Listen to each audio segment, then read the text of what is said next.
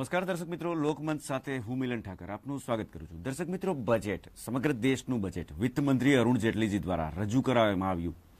Budget રજૂ થઈ ગયું અને ત્યારબાદની જો વાત કરીએ તો હવે મોનિટરી પોલિસી પણ જાહેર થઈ ચૂકી છે. ક્યાંક ને ક્યાંક આ સમગ્ર જે મુદ્દો છે એ ચોક્કસપણે કહી શકાય કે બજેટ વિધાનસભાની, પાંચ રાજ્યોની વિધાનસભાની ચૂંટણી અને ત્યારબાદની જો વાત કરીએ તો જે પ્રકારની જે રાજકીય પરિસ્થિતિઓ જે નિર્માણ પામી છે, એવું લાગી રહ્યું છે કે બજેટને રાજકીય રંગ આપવામાં આવી રહ્યો હોય અથવા તો આપવા અપાઈ રહ્યો હોય.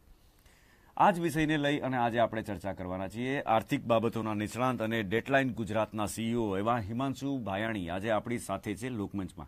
હિમાંશુભાઈ, આપનું સ્વાગત છે લોકમંચમાં. નમસ્કાર મિલનભાઈ, થેન્ક યુ. આપના દર્શકોને પણ મારા નમસ્કાર.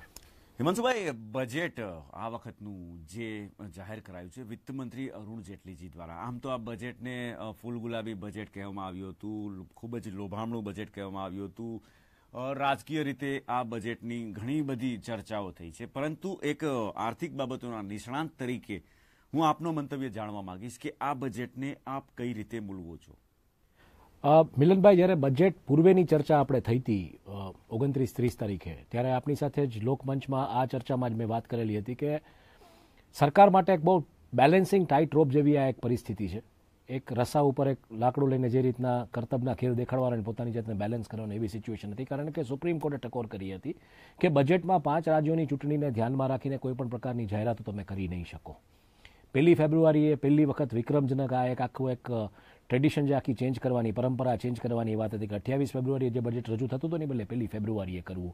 અને એનું આખું જે પહેલી ફેબ્રુઆરીએ શું બજેટ રજૂ કરવું, કે શું બજેટ રજૂ કર્યું આ સરકારે, એનો એક આખો ચિત્તા નરેન્દ્રભાઈએ લોકસભાની પોતાની સ્પીચમાં કીધો કે ભાઈ, મોન્સૂન બેસી જાય છે અને ખરેખર બજેટ ત્યારે ઇમ્પ્લિમેન્ટ થયું નથી હોતું.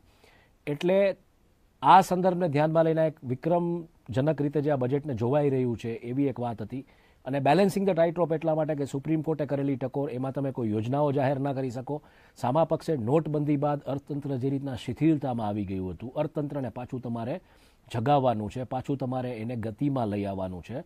એટલે કન્ઝમ્પશન વધે લોકોના હાથમાં ડિસ્પોઝેબલ ઇન્કમ વધે, એવી જોગવાઈઓ બજેટમાં કરવી જોઈએ. અને બજેટમાં થશે એવી પણ ત્યારે મેં વાત કરેલી હતી ને તમે જોયું કે જે પ્રકારે ટેક્સ સ્લેબ વધારવામાં આવ્યો છે ટેક્સ રેટ ડિડક્ટ કરવામાં આવ્યા છે, ક્યાંક ને ક્યાંક લોકોના હાથમાં ડિસ્પોઝેબલ ઇન્કમ વધી છે.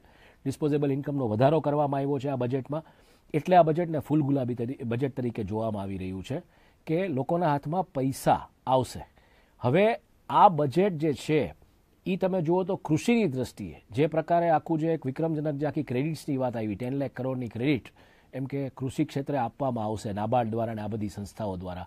ઇન્ફ્રાસ્ટ્રક્ચરમાં મેક્સિમમ સ્પેન્ડની જે વાત આવી છે. એટલે આ બધા ફેક્ટર્સને ધ્યાનમાં લઈને ડેફિનેટલી સરકાર ક્યાંક પાછું અર્થતંત્ર શિથિલતામાંથી પાછું, એમ કે એકદમ એક એના અર્થતંત્ર આર્થિક રીતેના પૈડા દોડવા માંડે વિકાસના પ્રગતિની વાતો જે સરકારે કરેલી છે બે હજાર ચૌદની ચૂંટણીના સંદર્ભે એટલે એ આખી એક આખું અર્થતંત્ર પાછું ગતિ પકડે એ દિશામાં આ બજેટ છે. એટલે એને ફૂલ ગુજાબી, ફૂલ ગુલાબી બજેટ તરીકે આખું જે રીતના આંકવામાં આવ્યું છે. ઘણા બધા રાજકીય લોકોએ આમાં એક સુર પુરાવ્યો છે. કોંગ્રેસે આને એવું બધું જોયું, એવું બજેટ નથી કીધું. ભાજપે આને ફૂલ ગુલાબી બજેટ કીધું છે.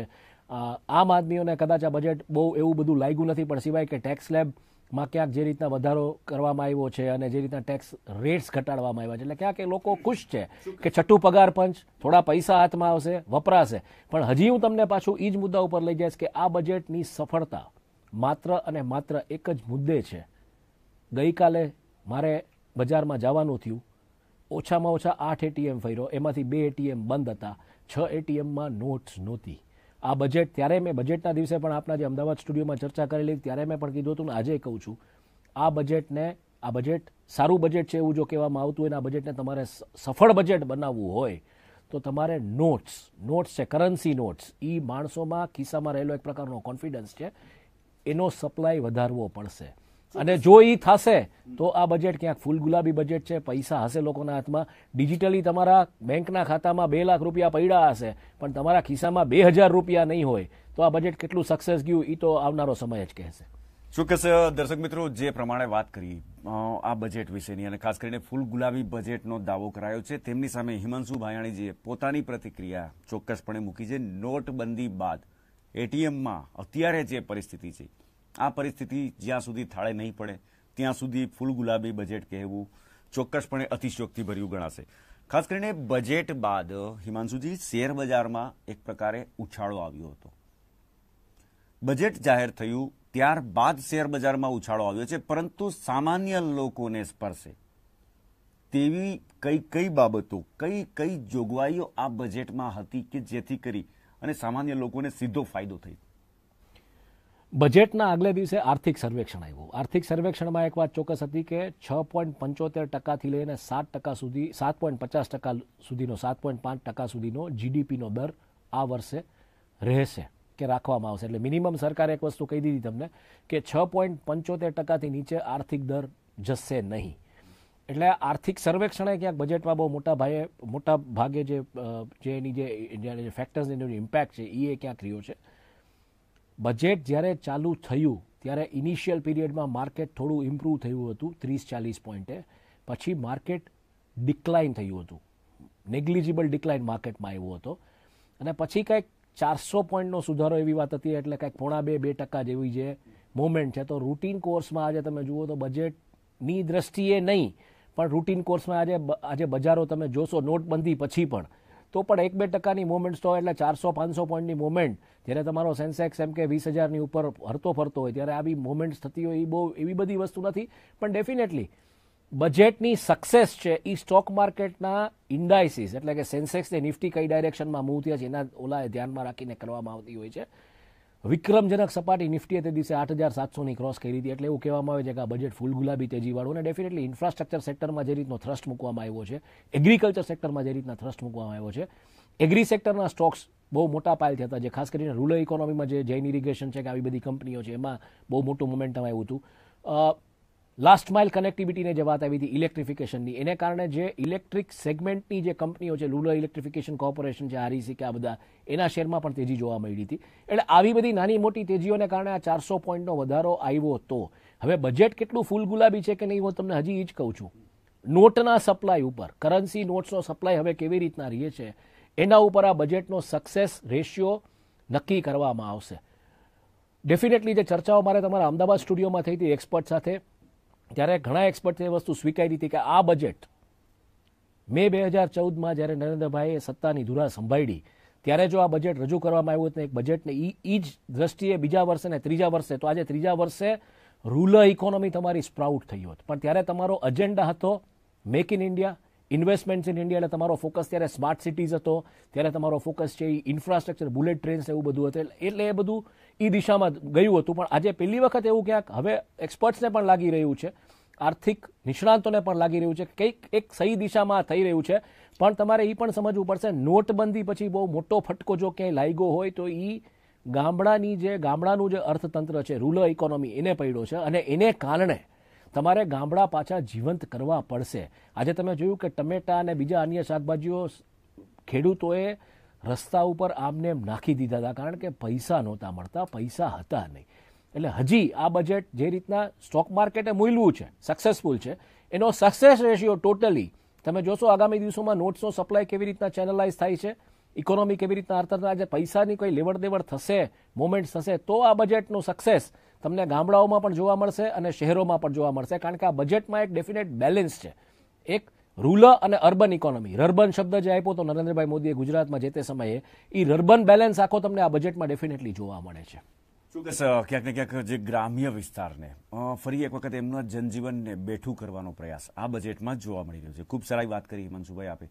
હિમાંશુભાઈ બજેટ ચોક્કસપણે કહી શકાય કે રાજકીય ગલિયારોની જો વાત કરીએ તો એક પ્રકારે રાજકીય લોકોએ બજેટને સારું ગણાવ્યું છે. સામાન્ય લોકોને આ બજેટ સીધું સ્પર્શી શક્યું નથી, આકર્ષી શક્યું નથી. જે પ્રમાણે જાહેરાત થઈ છે તે પ્રમાણે સામાન્ય લોકો માટે જે કહી શકાય કે ખૂબ જ મોટી કહી શકાય, એક એક પ્રકારે સુખદ આંચકો કહી શકાય, આ પ્રકારની કોઈ બાબતો નથી. આવા તબક્કે હવે આ બજેટને વધુ સારું બનાવવા માટે, એનું ઇમ્પ્લિમેન્ટેશન વધુ સારું થાય, એ માટે થઈ. લોકોને સારામાં સારા અને વધુમાં વધુ લાભો મળે, એ માટે સરકારે કઈ દિશામાં આગળ વધી રહેવું જોઈએ? જો મિલનભાઈ, આમાં ઘણા બધા મુદ્દાઓ છે.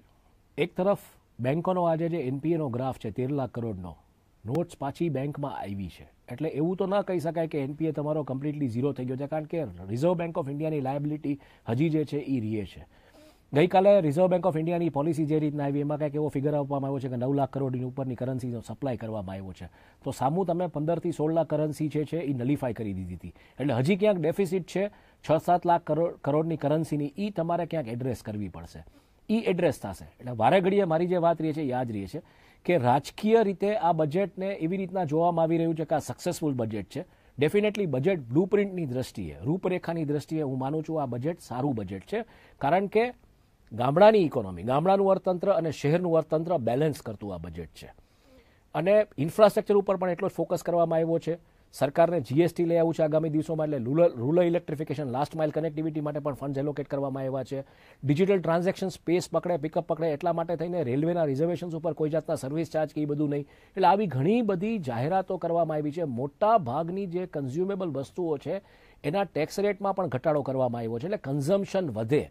સરકારનો ડેફિનેટ પ્લાન છે કે ઇકોનોમીને રિવાઇવ કરવા માટે કન્ઝમ્પશન વધારવું પડશે અને છ પોઈન્ટ પાંચ ટકાની જે ગ્રોથની વાત હતી, એ તમે મિનિમમ સ્કેલ છ પોઈન્ટ પંચોતેર ટકાએ લઈ ગયા છો. સાત પોઈન્ટ નવ ટકાની જે ગ્રોથની વાત હતી, એનો મિનિમમ બાર તમે સાત પોઈન્ટ પાંચ ટકા, એટલે છ પોઈન્ટ પંચોતેરથી સાત પોઈન્ટ પાંચ ટકાની વચ્ચે જો તમારે ગ્રોથ જોતો હશે, તો તમારે આજે સાત લાખ કરોડની જે કરન્સી ડેફિસિટ છે ને જેમ બને એમ વહેલી એડ્રેસ કરવી પડશે. માર્કેટમાં લોકોના ખિસ્સામાં જે રૂપિયા હશે કોન્ફિડન્સ હશે કે રૂપિયા છે કરન્સી નોટ્સ છે તો ડેફિનેટલી લોકો પૈસા ખર્ચશે અને ક્યાંક કન્ઝમ્પશન વધશે અને તો આ બજેટને તમે આમ આદમીની દ્રષ્ટિએ, જે આમ જનતા છે, એને ક્યાંક આ બજેટ એમ કે સક્સેસફુલ ગયું છે એવું લાગશે.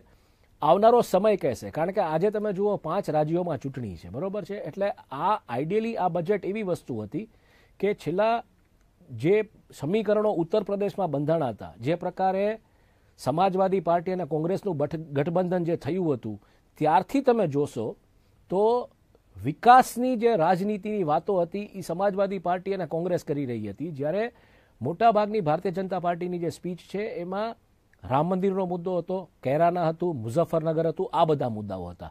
એટલે બજેટ એક એવી ઇકોનોમિક એક એવી ઓપોર્ચ્યુનિટી છે ભારતીય જનતા પાર્ટીને, ભારતીય જનતા પાર્ટી માટે જે વિકાસ અને પ્રગતિની રાજનીતિની વાત કરી શકે.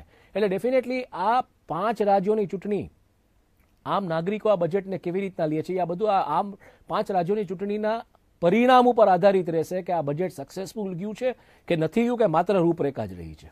શું કહેશે, દર્શક મિત્રો, ખૂબ જ મહત્વપૂર્ણ વાત કરી છે. આગામી દિવસોની અંદર જે પાંચ રાજ્યોની ચૂંટણી કહી શકાય કે ભારતનું ભાવિ નક્કી કરશે, ખાસ કરીને વર્તમાન કેન્દ્ર સરકારનું પણ ભાવિ નક્કી કરશે, આ પ્રકારની એક વાત આવી રહી છે. ખાસ કરીને બજેટ જાહેર થઈ ગયું. મોનિટરી પોલિસી પણ જાહેર થઈ વડાપ્રધાન નરેન્દ્રભાઈ મોદી દ્વારા લોકસભા રાજ્યસભામાં સંબોધન પણ કર્યું. નથી લાગતું હેમાંશુભાઈ કે સમગ્ર મામલો બજેટ મોનિટરી પોલિસી અને ત્યારબાદ એક પ્રકારે આર્થિક સુધારાઓની જે વાતો, જે પ્રમાણે ચર્ચાઓ થઈ રહી છે. રાજકીય તુલ પકડી રહી હોય, રાજકીય જે કહી શકાય, રાજકીય માર્ગ ઉપર આગળ વધી રહી હોય એવું નથી લાગતું? જ્યારે ડિમોનિટાઇઝેશનની આપણે ચર્ચાઓ કરી રહ્યા હતા, નોટબંધીની, ત્યારે પણ તમે મેં કીધું હતું કે આ મુદ્દો આગામી દિવસોમાં બહુ મોટો રાજકીય તૂર પકડશે. એટલા માટે કે આ આમ આદમીને સ્પર્શતો મુદ્દો છે. આજે તમે પંદર સત્તર લાખ કરોડની કરન્સી તમે ઓલ ઓફ અ સડન તમે નલિફાઈ કરી દીધી છે. લોકોના ખિસ્સામાં પૈસા નથી. સામે તમે જે નોટ આપી, બે હજાર રૂપિયાની હતી કેશ એક્સચેન્જ અવેલેબલ નહોતું. જે પ્રકારનો ડેફિસિટ રહે છે કેશ એક્સચેન્જ અવેલેબલ હતું માર્કેટમાં લો ડિનોમિનેશનમાં અને હાયર ડિનોમિનેશનમાં આ બધી સમસ્યાઓને કારણે, જે મેં ત્યારે પણ કીધું હતું કે સ્માર્ટફોન હોવાને કારણે લોકો નાના નાના વિડીયોઝ કે જે કાંઈ પોતાના ફોટોગ્રાફ કે સેલ્ફીઝ કે જે કાંઈ સોશિયલ મીડિયા ઉપર પ્લગ ઇન કરે, એના ઉપરથી રાજકીય પાર્ટીઓ પોતાની રીતે ત્રણ એક દિવસના અલ્ટિમેટમ આપ્યા હતા અને આ નોટબંધી પાછી લ્યો. ત્યારે મેં કીધું હતું કે આ નિર્ણય ઉપરથી સરકાર ક્યાં પાછી હટશે નહીં. અને આ મામલા એટલે રાજકીય તૂર પકડ્યું છે કે બજેટમાં એક અપેક્ષા હતી. પહેલી અપેક્ષા હતી એકત્રીસ ડિસેમ્બરના નરેન્દ્રભાઈના ભાષણ ઉપર કે કાંઈક એવી વાત આવશે કે કાળું નાણું કેટલું બહાર આવ્યું છે. નોટ સ્વરૂપે રહેલું કાળું નાણું કરન્સી સ્વરૂપે રહેલું કાળું નાણું કેટલું ઇકોનોમીમાંથી બહાર આવ્યું છે. ફેક કરન્સી કેટલી પકડાણી છે. પણ આનો કોઈ ડેટા સરકાર તરફથી અધિકૃત રીતે બહાર પાડવામાં હજી આવ્યો નથી. હવે જે વાત હતી એ હતી કે બજેટમાં થોડી અપેક્ષા હતી કે આ સંદર્ભે કંઈક વાત થશે, પણ એ પણ એડ્રેસ કરવામાં નથી આવી. ત્યારબાદ રાજ્યસભા અને લોકસભામાં જે નરેન્દ્રભાઈએ જે સ્પીચ આપી, એમાં એક મહત્વનો મુદ્દો એમણે કીધું કે દેણું કરીને ઘી પીવો. અને ત્યારબાદ તમે જુઓ તો મોનિટરી પોલિસી જે આવી મોનિટરી પોલિસીમાં ક્યાંય વ્યાજના દરોમાં એક નોર્મલ એક એક થમરૂલ કયો કે જે કયો એવું હોય છે કે જ્યારે તમારો ટેક્સ સ્લેબ વધારવામાં, ઘટાડવામાં આવ્યો છે ટેક્સ રેટ તમારો ઘટાડવામાં આવ્યો છે ડિસ્પોઝેબલ ઇન્કમ લોકોના હાથમાં વધારવામાં આવી છે, તો પછી ડેફિનેટલી ક્યાંક તમારે વ્યાજ દર જો ઘટી હોય તો તમારું કન્ઝમ્પશન પિકઅપ થાય. પણ કન્ઝમ્પશન પિકઅપ નથી થઈ રહ્યું. તદુપરાંત નરેન્દ્રભાઈએ લોકસભામાં એવું કીધું કે દેણું કરીને ઘી પીવો. એટલે ઊંચા વ્યાજ દરે લોકો કેવી રીતના દેણું કરીને ઘી પીશે એ બહુ મોટો પ્રશ્ન છે. અને આ સંદર્ભે આમાં એટલે આ મુદ્દો આખો રાજકીય તૂર પકડી ગયો છે. અને ખાસ કરીને ગઈકાલની જે એમની જે જે ટિપ્પણીઓ હતી ડોક્ટર મનમોહનસિંહ વિશે એને કારણે થોડું આ રાજકીય રંગ પકડી ગયો છે. અને ખાસ ચૂંટણીઓ છે પાંચ રાજ્યોમાં. એટલે અત્યારે આના ઉપર રાજકીય ચર્ચાઓ થાય રાજકીય ડિબેટ થાય આ મુદ્દે એ બહુ સ્વાભાવિક વાત છે. પણ આ બધી જ વસ્તુમાં હજી હું તમને એ જ વસ્તુ કહેવા માંગીશ ફરી ફરીને એક જ મુદ્દો આવે છે. સાત લાખ કરોડની જે કરન્સી સપ્લાય ડેફિસિટ અત્યારે માર્કેટમાં છે એ એક વખત ચેનલાઇઝ થાય, પૈસા લોકોના હાથમાં આવશે, કરન્સી નોટ્સ લોકોના હાથમાં આવશે, કરન્સી તરફનો એક કોન્ફિડન્સ બિલ્ટઅપ થશે. અત્યારે થયું છે એવું કે નાની નાની કરન્સી જે છે દસના સિક્કાની જે સમસ્યાઓ અત્યારે સર્જાઈ રહી છે આખા રાજ્યમાં અને રાષ્ટ્રમાં. બેંકો અમુક નથી સ્વીકારતી, આ બધા પ્રશ્નો છે. એટલે કરન્સી ઉપરનો લોકોનો જે વિશ્વાસથી થોડો ક્યાંક ડગી ગયો છે, લોકો કરન્સીની સંગ્રહખોરી ચાલુ કરી છે. નાની નાની જે ડિનોમિનેશનની કરન્સી છે, સો રૂપિયાની, દસ રૂપિયાની એની એક સંગ્રહખોરી ચાલુ કરી છે. એટલે તમને અત્યારે સર્ક્યુલેશનમાં જોવા નથી મળતી. સપ્લાય વધશે. સપ્લાય ચેનલાઇઝ થશે તો આ બજેટ પણ સક્સેસફુલ રહેશે કન્ઝમ્પશન વધશે. મારી દ્રષ્ટિએ આ રૂપરેખા છે, આ રૂપરેખાને સક્સેસફુલ કરવા માટે એનું એક જ પેરામીટર એનો એક જ ફેક્ટર છે કરન્સી નોટ્સ કરન્સી નોટ્સનો સપ્લાય વધારો. ઓટોમેટિકલી તમને ફૂલ ગુલાબી તેજી માર્કેટમાં જોવા મળશે. ચોક્કસ, દર્શક ચોક્કસપણે કહી શકાય હિમાંશુભાઈએ જે વાત કરી તે પ્રમાણે કરન્સી માર્કેટમાં આવશે, ફૂલ ગુલાબી આપોઆપ ચિત્ર થઈ જશે. ખાસ કરીને હિમાંશુ, આરબીઆઈની જે પોલિસી આવી, જે જાહેર થઈ છે, વ્યાજ દરોમાં કોઈ જ પ્રકારની કટોતી નથી કરી. શું સરકાર બજેટને લોભામણું કરવા માગી રહ્યું છે? ખાસ કરીને આ જે પ્રયત્નો છે સરકારના, કેટલા સફળ થશે? શું લાગે છે આપને? સૌથી પહેલો પ્રશ્ન અત્યારે જે રીતના નોટબંધીની જાહેરાત ભારતના પ્રધાનમંત્રીએ કરેલી હતી, ત્યારબાદ એ બહુ મોટી એક ચર્ચાનો વિષય છે, આર્થિક નિષ્ણાંતોની વચ્ચે કે આરબીઆઈની ઓટોનોમી આજે છે કે નથી? આરબીઆઈ જે ઓટોનોમસ બોડી છે કે નહીં? પણ એના નિર્ણયો પણ એમ કે ફાઇનાન્સ મિનિસ્ટ્રી લઈ રહી છે કે સરકાર લઈ રહી છે, એની ઉપર કોઈ ચોક્કસ ચોખવટ નથી. એક બહુ મોટો સૂર એ હતો, ઇન્ડસ્ટ્રીનો, સ્ટોક માર્કેટનો, તમામ લોકોનો જે આર્થિક ક્ષેત્ર આર્થિક ક્ષેત્ર સાથે જોડાયેલા આર્થિક નિષ્ણાંતો છે એ બધાનો કે આરબીઆઈ ક્યાંક રેટ કટ આ વખતથી હવે ડિક્લેર કરશે. કારણ કે તમારે કન્ઝમ્પશન પિકઅપ કરવાનું છે. બીજી એક મોટી વાત તમને કહું મિલનભાઈ, આ બજેટમાં એવી એક ચર્ચા બહુ દૂર પકડો પકડો હતો બેઝિકલી અને અફવા કયો કે જે કહ્યું કે આ વખતે સરકાર છે એ તમારું ફાઇનાન્શિયલ યર જે છે એ જાન્યુઆરીથી ડિસેમ્બર સુધીનું ડિક્લેર કરશે. પણ એ પણ થયું નથી અને આ માર્ચનું તમારું ફાઇનાન્શિયલ યર ઓલમોસ્ટ હવે પૂરું થવા આવશે. એપ્રિલમાં પાછી પોલિસી આવશે. એપ્રિલમાં તમે રેટ કટની કોઈ જાતની એક્સપેક્ટેશન રાખી શકો. નંબર વન, ત્યાં સુધીમાં પાંચ રાજ્યોની ચૂંટણીના પરિણામો પણ આવી ગયા હશે. એટલે તમને મહદ અંશે ખ્યાલ આવી જશે કે શું પરિસ્થિતિ છે, તરલ પરિસ્થિતિ છે, લોકોએ આ સ્વીકાર્યું છે બજેટ નથી સ્વીકાર્યું. અને હું એમ માનું છું કે આ બજેટ પછી બે હજાર અઢારની સાલનું જે બજેટ છે એ તમારા માટે મહત્વનું ત્યાર પછી બે હજાર ઓગણીસમાં તો પાછી ચૂંટણીઓ હશે. એટલે હું એમ માનું છું કે રેટ કટ્સ હવે શરૂ થશે, એપ્રિલ મહિનાથી કદાચ શરૂ થશે.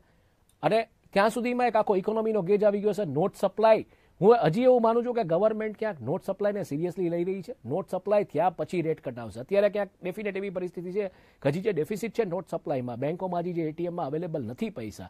એ જોતા અત્યારે રેટ કટ લઈ આવો અને પછી તમારે માની લો કે પૈસા ના હોય અને રેટ કટે હોય તો એ પરિસ્થિતિ પાછી કોઈ તમને બહુ મોટો બેનિફિટ નહીં આપે. એટલે નોટ્સનો સપ્લાય વધ્યા પછી હું એમ માનું છું એપ્રિલ મહિનાની આસપાસ, જે ત્યારે પણ આપણે વાત થઈ હતી નવેમ્બર મહિનામાં, કે છ મહિના આખું અર્થતંત્ર ઊભું થતા, છ મહિના તો તમારે ગણીને ચાલવાનું છે. એટલે એપ્રિલમાં જો રેટ કટ આવે, તો એ એપ્રિલથી જ આખું ક્વાર્ટર શરૂ થાય ને ફિસ્કલ યર જે શરૂ થાય ત્યારબાદ રેટ કટ ધીરે ધીરે આપવામાં આવે, તો એ સંદર્ભે ક્યાંક કન્ઝમ્પશન વધે અને six point seventy five to seven point ફાઈવનો જે ડેટા છે આર્થિક સર્વેક્ષણમાં જે આપવામાં આવ્યો છે જીડીપીનો જે ટકાવી રાખવી છે સરકારને, તો એ ક્યાંક એને હેલ્પફુલ થાય. એટલે હું એમ નથી માનતો કે આ વખતે નથી થયું, એટલે હવે નહીં થાય. હવે ડેફિનેટલી થશે. Subject to condition note supply કરવામાં આવે માર્કેટમાં વસ્તુ ઉપર આપણે આવીએ છીએ. જીડીપી ઉપર આવીએ છીએ. ખાસ કરીને એકત્રીસમી માર્ચે જે કહી શકાય કે વર્ષ પૂરું થઈ રહ્યું છે. શું લાગે છે? જીડીપી વિશે આપ શું કહેશો? આ વખતનું તો જીડીપીનો ડેટા જે સરકાર હવે બહાર લઈ આવશે એના ઉપર ખબર પડશે. પણ six point seventy five to seven point ફાઈવની જે ટાર્ગેટ છે આવતા વર્ષ માટે. બરોબર છે? એમાં જે મેં તમને કીધું ફરીથી કે note supply with be the core thing બીજું તમારે બહુ મહત્વનો મુદ્દો જે કન્સિડરેશનમાં લેવો પડશે, જે બજેટમાં નથી લેવામાં આવ્યો પહેલી પહેલી તારીખે બજેટ રજૂ કરવામાં આવ્યું. ત્રીસ એકત્રીસમી જાન્યુઆરીએ યુએસ સેનેટમાં એચ વન બી વિઝાનું બિલ પાસ કરવામાં આવ્યું છે, જેમાં એચ વન બી વિઝા ધારકોને ત્યાંની કંપનીઓએ ડબલ પગાર મિનિમમ આપવો પડશે. અને જો એ ન આપે, તો એને અમેરિકનોને નોકરી ઉપર લેવા પડશે. આ બજેટ તૈયાર થઈ ગયું હશે, ત્યાર પહેલાં હું માનું છું, બિલ આવ્યું ત્યાર પહેલાં.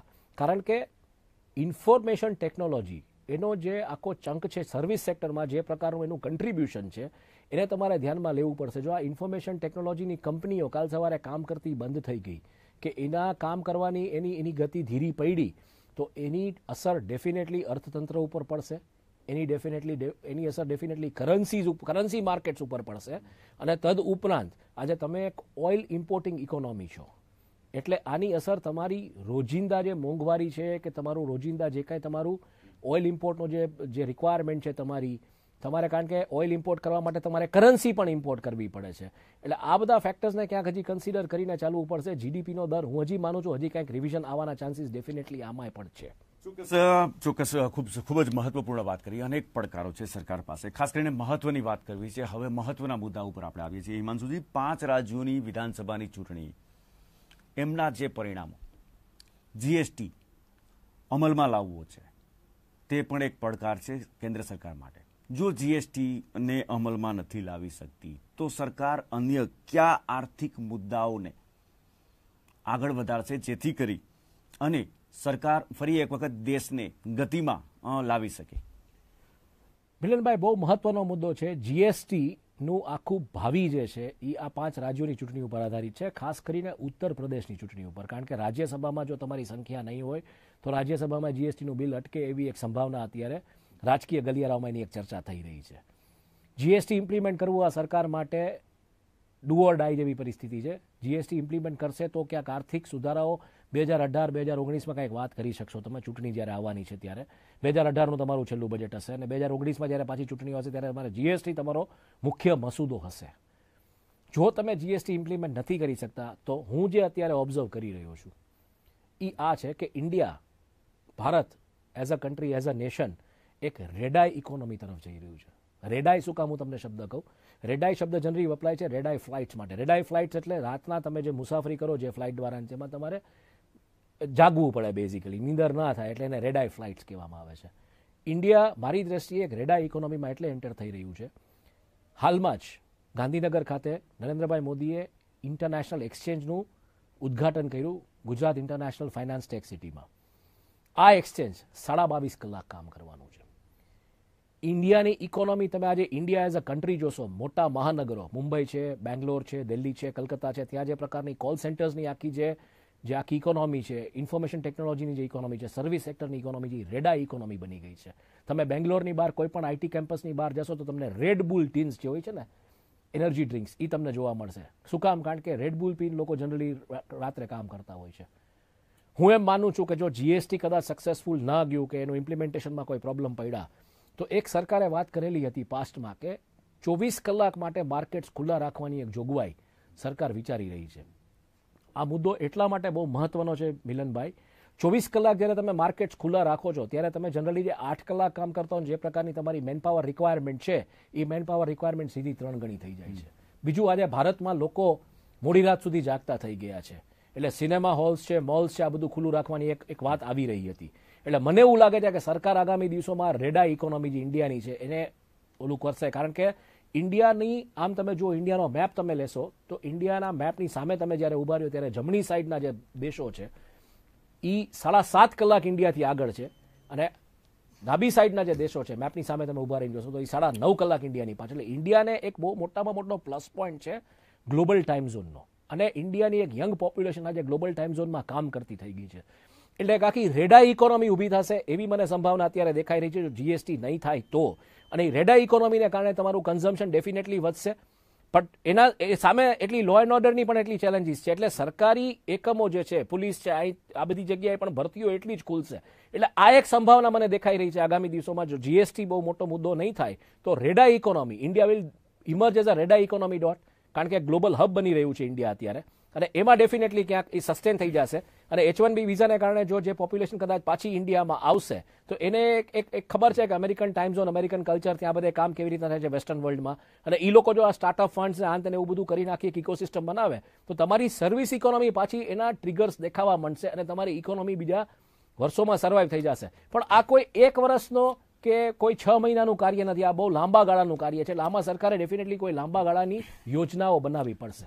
ચોક્કસ દર્શક મિત્રો, ખૂબ જ મહત્વપૂર્ણ અને રોચક કહી શકાય આ પ્રકારની માહિતી હિમાંશુ ભાયાણી કે જેઓ ડેટલાઇન ગુજરાતના ફાઉન્ડિંગ એડિટર તથા સીઈઓ છે, તેમના દ્વારા આપી છે. લોકમંચમાં આજે દર્શક મિત્રો હિમાંશુભાઈ આપણને જે મહત્વપૂર્ણ જાણકારી આપી છે, ખાસ કરીને બજેટ બજેટથી માંડી અને જે પ્રકારે મોનિટરી પોલિસી અને જો જીએસટીની વાત કરીએ તો જીએસટી ઇમ્પ્લિમેન્ટેશન જો ન થાય તો અન્ય સરકાર પાસે કયા કયા વિકલ્પો ખુલ્લા છે તે વિશે ખૂબ જ મહત્વપૂર્ણ વાત કરી. હિમાંશુભાઈ ખૂબ ખૂબ આભાર આપે જે પ્રમાણે લોકમંચમાં માહિતી આપી. આભાર આપનો અને આપના દર્શક મિત્રોનો જીટીપીએલના દર્શક મિત્રો તો દર્શક મિત્રો વધુ એક રોચક વિષય વધુ એક નવા જ વિષય સાથે ફરી મળશું. ત્યાં સુધી મને રજા આપશો. નમસ્કાર.